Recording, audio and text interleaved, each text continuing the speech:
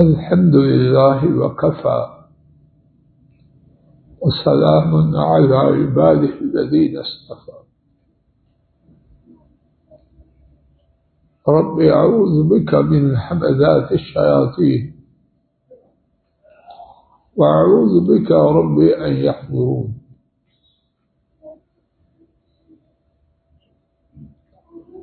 أعوذ بالله السميع العليم من الشيطان الرجيم. من حمزه ونفقه ونفسه. روى الإمام البخاري رحمه الله تعالى عن أم المؤمنين عائشة رضي الله تعالى عنها.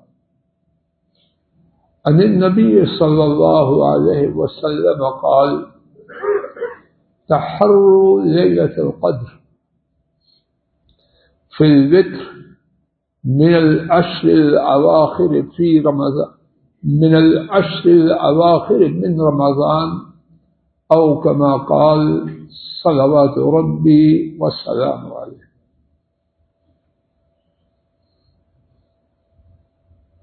رب الجلال کی توفیق اور خصوصی عنایت سے عزیزان حفظهم اللہ تعالی، ان سے شب قدر کی شان و عظمت اور نبی کریم صلی اللہ علیہ وسلم اور صلف صالحین کے اس کے لیے شدید اہتمام کے لیے کچھ بات کو سنا گیا آئیے، انتہائی اختصار سے اسی عظیم رات کے حوالے سے کچھ احکام و مسائل سنتے ہیں۔ وقت کے محدود ہونے کے پیش نظر، دلائل کا ذکر اور تفصیلی گفتگو تو ممکن نہ ہوگی۔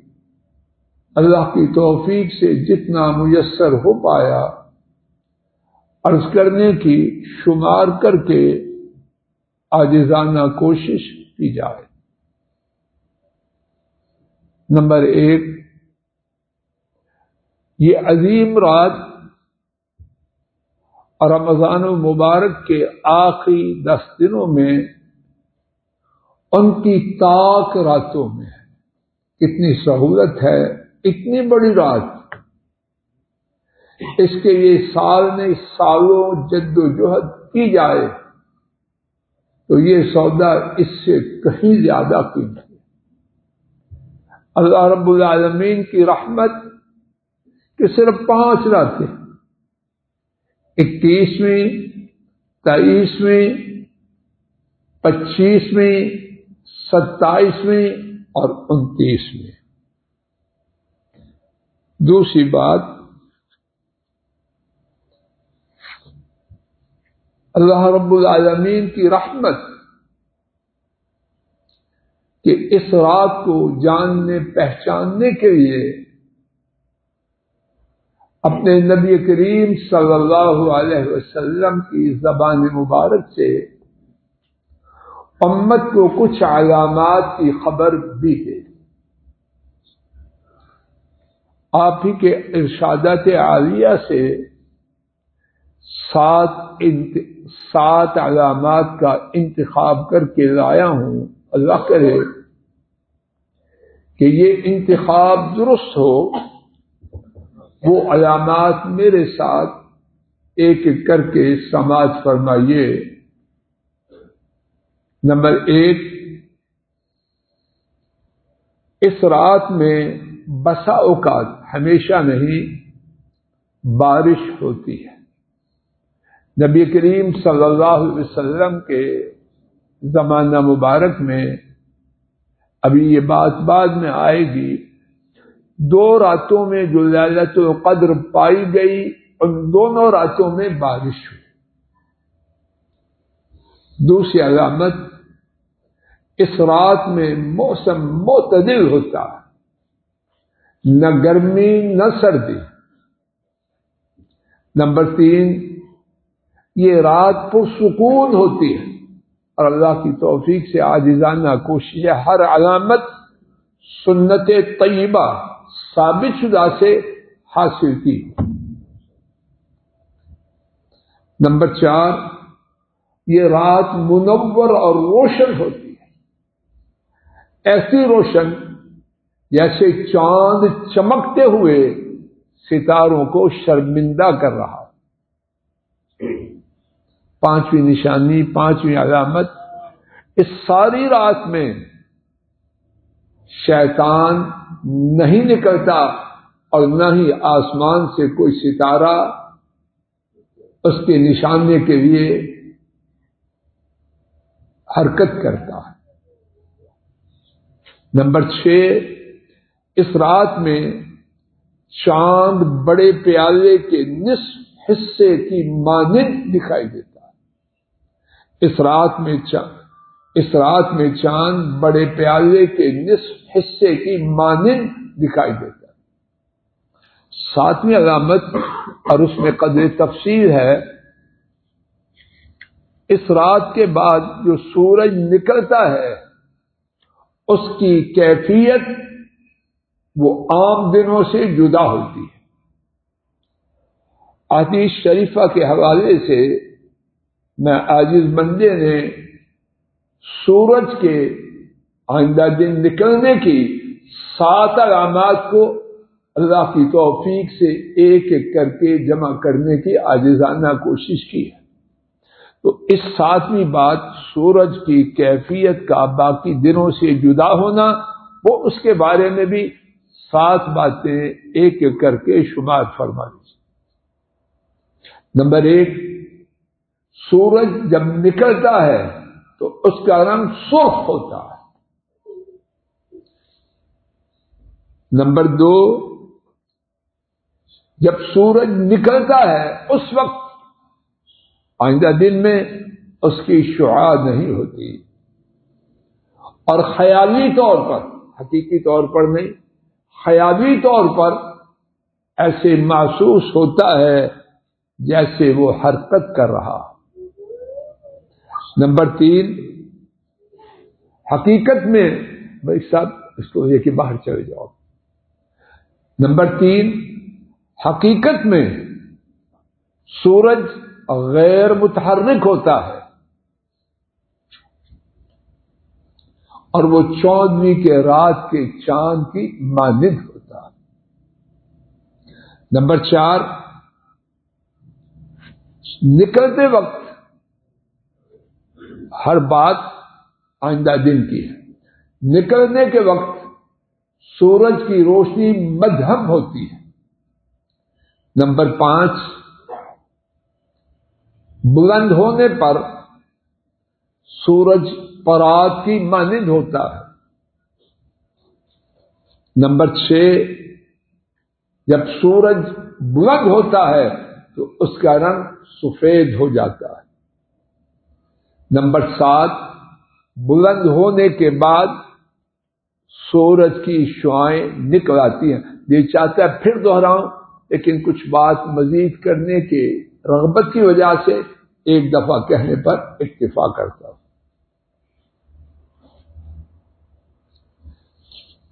تیسری نشان، تیسری بات اس رات کے حوالے سے اللہ کریم نے اپنے رسول کریم صلی اللہ علیہ وسلم کی زبان مبارک سے جب اس رات کو جو سولوں کی راتوں سے قیمتی ہے اور جس کے لیے صدیوں محنت کی جائے، صدیوں سال محنت کی جائے، تو پھر بھی یہ سودا بولو قیمتی ہے۔ تو اللہ کریم نے پھر پانچ کی بجائے ایک کیوں نہیں بتلا دی کہ فلاں رات ہے۔ نبی کریم صلی اللہ علیہ وسلم نے بڑے ہی پیارے انداز میں آدھی سطر سے کم میں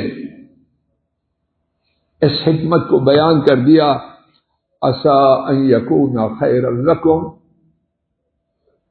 اس کا چھپانا اور میرا تمہیں بالکل محدود وقت میں خبر نہ دینا، اس میں شاید تمہارے لیے بہتر۔ کیسے؟ چار راتیں للت القدر کے علاوہ اور ایک۔ تو للت القدر پلس چار راتیں، یہ خیر ہے یا ایک للت القدر خیر؟ جب جوڑا جائے للت القدر زائد پلس چار، اور ایک طرف صرف للت القدر، تو پانچ کا ہونا، جس میں للت القدر بھی ہو، زیادہ ہے۔ تو آسانی بھی بے انتہا اور تھوڑی سی شیخ صاحب، آپ کے شعبے کی بات آئی ہے۔ تھوڑی سی چار رات کی تقریب تو ماشاء اللہ تبارک رحمان، اس میں امت کی ہی خیر ہے۔ چوتھی بات کیا اللہ نصیب کر۔ ہم دن کثیر نے خلاصہ نچوڑ بتایا۔ اس رات میں پسندیدہ ہے۔ اور یہ بات ہر وقت پسندیدہ ہے، لیکن اس رات کی بات کچھ اور ہے۔ اس رات میں پسندیدہ ہے کہ اللہ تعالی سے بہت زیادہ دعا کی جائے یہ اللہ نصیب کر۔ یہ کہانیاں ڈالنے کی مونگرے اور میسو کھانے کی رات نہیں اور یہ کھانا ممنوع نہیں، کھانا ہے تاکہ طاقت آئے۔ اور توجہ سے دعا مانگے۔ اس رات میں بہت زیادہ پسندیدہ کیا ہے؟ اللہ تعالی سے دعا کرنا نہیں، بہت زیادہ دعا کرنا۔ اور میں یہ بات فوری طور پہ کہہ جاؤں تاکہ رہ نہ جائے۔ یہ دعا کب سے شروع کرنا اور کب تک کرنا؟ اللہ تعالیٰ مجھے ہدایت دے اور اگر آپ میری طرح آپ کو بھی دے دیں، بارہ بجے شروع کرتے ہیں، زیادہ تو قدر کو تلاش کر اور پھر ان پانچ راتوں میں مغرب کی اذان ہوتے ہی جٹ جائیے۔ یہ روز روز کا سودا نہیں ہے اور پتہ نہیں آئندہ جینا بھی ہے کہ مر جانا زور سے کہیے تاکہ یہ بات کبھی نہ بھولیں۔ کب سے شروع کرنا ہے؟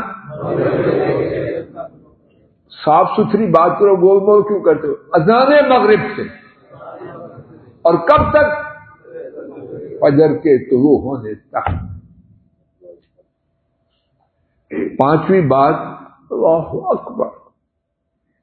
ایک ایک بات ایسی ہے، اس پہ قربان ہو جائیں کہنے والے۔ بغیر حوالہ کے بات ارض کرتا ہوں، حوالہ سامنے ہے تاکہ بات مختصر ہو جائے۔ اما عائشہ رضی اللہ عنہا کے سوال پر کہ اگر مجھے یہ رات مل جائے تو اللہ سے کیا مانگو نبی کریم صلی اللہ علیہ وسلم کیا جواب دیتے اور جواب دینے والے وہ ہیں اللہ نے ان ایسا جواب دینے والا مخلوق میں کوئی بنایا ہے۔ اور سوال کرنے والی وہ ہیں جو اللہ کے محبوب صلی اللہ علیہ وسلم کو امت میں سب سے زیادہ محبوب اب آش فرمایا، پھر کہو اللہ ان کا افول تو حب الفا انی اے اللہ آپ یقیناً معاف کرنے والے ہیں، معافی کو پسند کرتے ہیں، مجھے بھی معاف کر دی میرے ساتھ دہرائیے، زور سے اللہ ان کا افوت تو حب الفا انی اور اس کے کتنے فوائد ہیں؟ میرے سامنے بیس فوائد نوٹس کی صورت میں لکھے ہوئے ہیں۔ وقت ہوا تو ان کی طرف آؤں گا۔ فائدہ ہی فائدہ۔ ماسٹر کی ہے، معافی کا پانا۔ چھٹی بات، کسی کا للت القدر کو کسی نشانی سے پا لینا، پتہ لگ جائے، اس سے ثواب نہیں ملتا۔ اس سے ثواب نہیں ملتا۔ ثواب ملتا ہے کچھ کرنے۔ کیا کچھ نہیں۔ اور گاؤں ہے مجھے پتا چل گیا چل گیا تو پھر کیا ہو گیا۔ تو نے کیا کیا؟ نوٹ فرما لیجیے بعض لوگ اسی جستجو میں رہتے ہیں کہ ہے کہ نہیں اور اسی میں بڑا وقت ضائع کرتے ساتویں بات، ہمارا دین بڑا ہی عجیب اور بڑا ہی عجیب ساتویں بات، اگر کوئی جتا ہوا ہے، اور اللہ کے فضل و کرم سے ایک ایک بات کی تفصیل ہے لیکن اب اختصار سے بات کر رہے ہیں۔ کوئی لگا ہوا ہے، جتا ہوا ہے عبادت میں کسی طرح سے اور اسے کچھ خبر نہیں ہوئی تو نہ ہو۔ پہلی بات کے بالکل برعکس۔ اس رات کا پتہ چلنے سے مقصد پورا نہیں ہوگا۔ مقصد پورا کس سے ہوگا؟ جتا ہوا ہے۔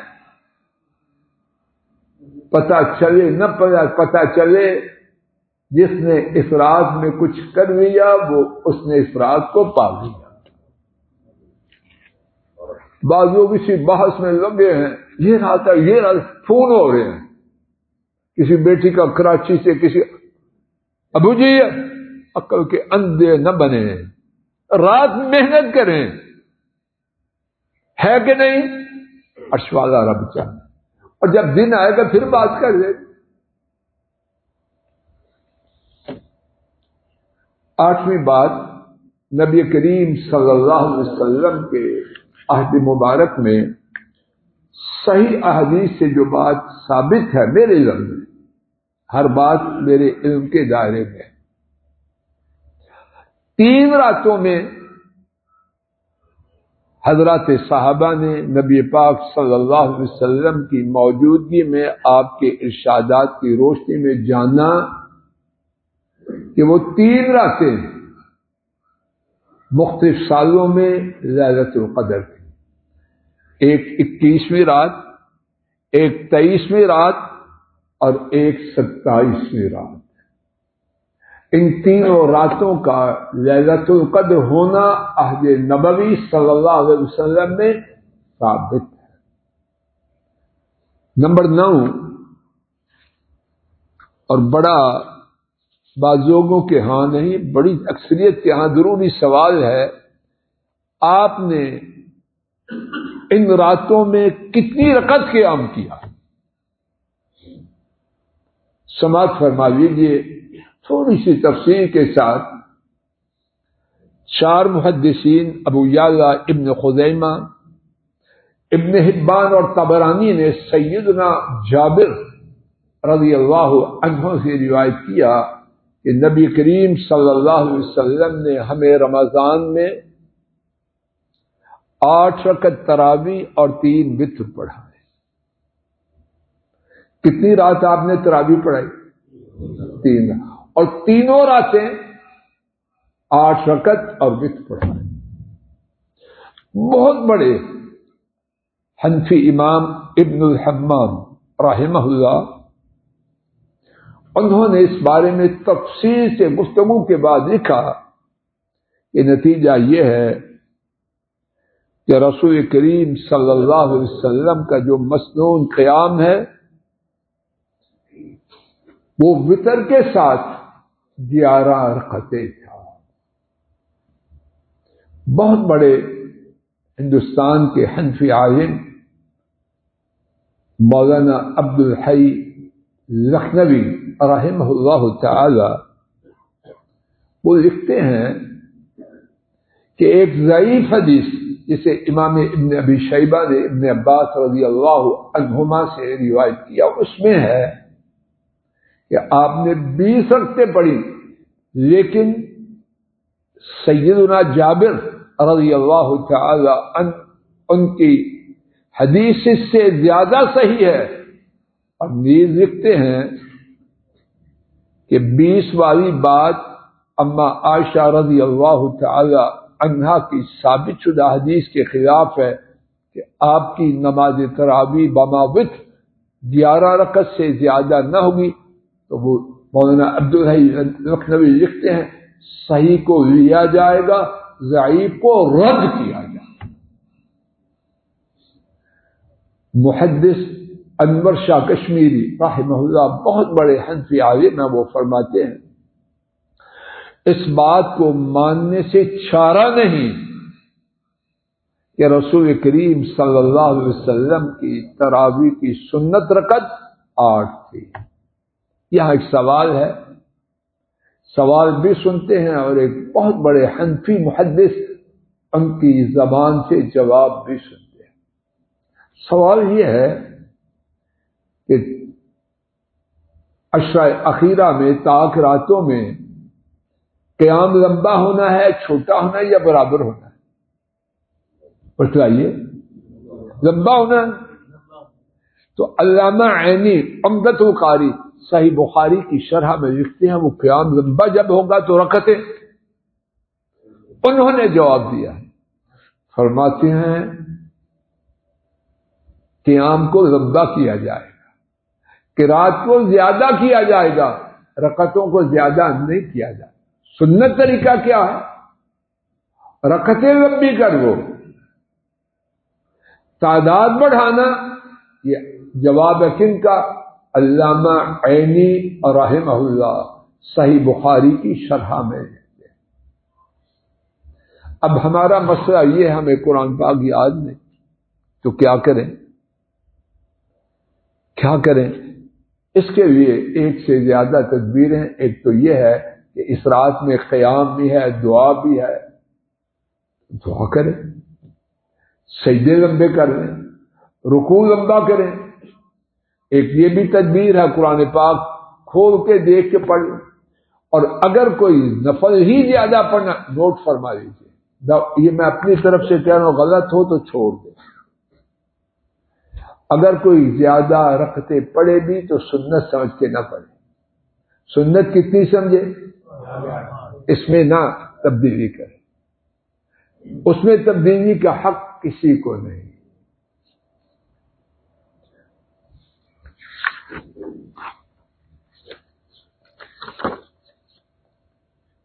نمبر دس، بعض لوگوں نے للت القدر کو ستائیسویں رات میں مخصوص کر لیا۔ یہ بات بالکل نادرست ہے۔ ابھی ہم نے سنا، نبی پاک صلی اللہ علیہ وسلم کے زمانہ مبارک میں کتنی راتوں میں لالت القدر اکیسویں، تیئیسویں، ستائیسویں۔ تو یہ کہانی ٹھیک نہیں۔ گیارہویں بات،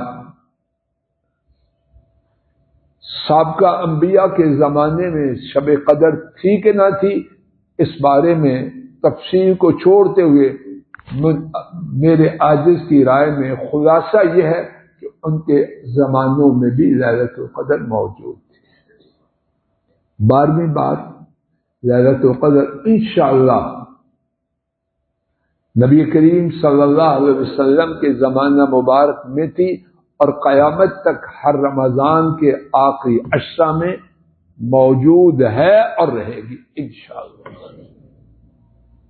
نمبر تیرہ، بعض لوگ خواہ زیادہ سیانہ بن کے اپنے آپ کو پریشان کرتے ہیں کہ سعودی عرب میں تو آج یہ ہے، یہ ہاں آج یہ ہے، تو للت و قدر کیسے ہے؟ چچا جی جو روزہ رکھتے ہو، سعودی عرب میں جب تم افطار کر رہے ہو سعودی عرب میں تو ابھی اثر کا وقت ہے، تو کیوں کرتے ہو افطار؟ کتنے گھنٹے کا فرق ہے؟ شیخ صاحب۔ تو یہاں اب کتنے بجے افطاری کر رہے ہیں؟ چھ۔ ساڑھے چھ۔ تو سعودی عرب میں ساڑھے چار ہیں۔ تو آپ نے ساڑھے چار افطاری کر لی۔ کبھی پوچھا ہے کہ افطاری کا وقت ہے کہ نہیں؟ کہاں سے پوچھتے ہو یہ پکوڑوں کو؟ یہ اور یہ نظام ہے اللہ مالک کا۔ اپنی عقل پر۔ اپنی سمجھ پر، اپنے وسائل پر اس کو قیاس کرنا بجائے خود عقل سے دور کی بات۔ اللہ کا نظام ہے، تجھے اس میں کیا دخل ہے؟ تجھے یہ ہے، جہاں ہے وہاں کے حساب سے۔ جس طرح روزہ رکھ رہا ہے، کھول رہا ہے، اسی طرح شب قدر ہے۔ اللہ کے لیے مشکل ہے کہ وہاں شب قدر، اس دن پر اللہ کی قدرت ہے، ہمیں اس سے کیا دخل؟ نمبر چودہ، شب قدر کے، اس للت القدر کے اللہ نصیب کر دے۔ جو دن آئے گا، اس کی کوئی مخصوص حیثیت نہیں۔ اللہ کے لیے آج شب قدر ہے، تو کل کا دن اس کی کوئی خاص شان ہے نہیں۔ رمضان کے آخری دھاکہ کے مبارک دنوں میں سے ایک دن ہے بس۔ میرے سبق کی آخری بات لوگوں کی ایک بڑی تعداد شب قدر کی شان و عظمت کے بیان میں اللہ جانے کہاں کہاں سے کہانیاں لاتے ہیں۔ کوئی ضرورت نہیں۔ جو قرآن کریم میں اور احادیث شریفہ میں ہمارے لیے بہت کافی ہے۔ بہت کافی ہے۔ ہم اس کے بیان کرنے کا بھی حق ادا نہیں کر پاتے تو کہانیاں قصوں کے یہ وقت کہاں سے لائیں؟ اسی طرح شب قدر میں جو عجیب عجیب قسم کے پروگرام، محفلیں اور باتیں بنائی اور کی جاتی ہیں، ہمیں ان کی کوئی ضرورت سنت کی پابندی کرتے ہوئے تھوڑا عمل، اس عمل کے پہاڑ سے بہتر ہے جو سنت سے ہٹ کر ہے۔ اور ہم اہل حدیث، کوئی ہمیں گالی دے، راضی ہو، ہم سنت کے ہٹ کے بات کو اپنے قریب نہ آنے دیتے ہیں نہ اس کے قریب جانے کی کوشش کرتے ہیں۔ باقی جو کوتا ہی ہے اللہ اس کو معاف کرے۔ اللہ تعالیٰ اپنے فضل و کرم سے کہنے سننے کی غلطی کو معاف کرے۔ اور جو ٹھیک بات صرف ان کی توفیق سے کہی گئی ہے اور آپ کی حاضری ہمارا آنا اور اس وقت کو بیٹھنا اللہ اپنے فضل و کرم سے قبول فرمایا۔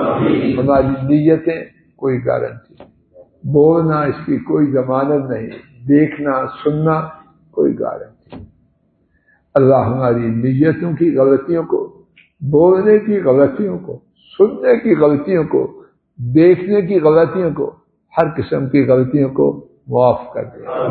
اور اللہ اپنی رحمت سے جس مبارک رات کے حوالے سے ٹوٹی پھوٹی بات کہی اور سنی گئی۔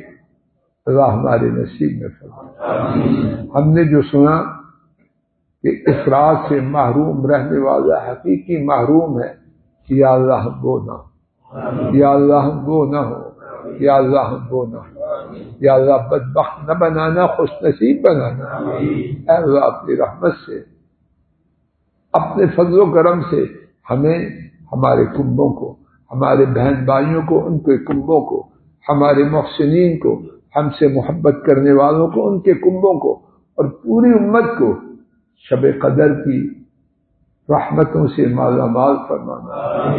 آخر دعوانا ان الحمد للہ رب العالمین۔